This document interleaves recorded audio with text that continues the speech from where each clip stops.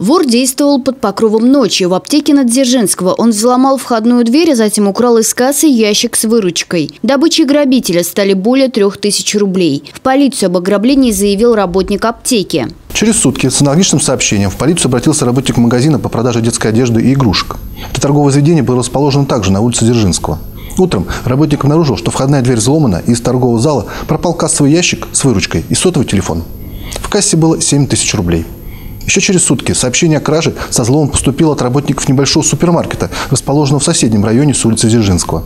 Дверь была взломана аналогичным способом. Из магазина пропал кассовый ящик с несколькими тысячами рублей. Вскоре оперативники получили сведения, что один рязанец похвастался среди знакомых, что он так силен, ни одна дверь не выдерживает его напора. Ни дверь аптеки, ни дверь магазина. Полицейские выяснили, что это 37-летний рязанец. Ранее он был судим за угрозу убийством, кражу и преступления, связанные с незаконным оборотом наркотиков.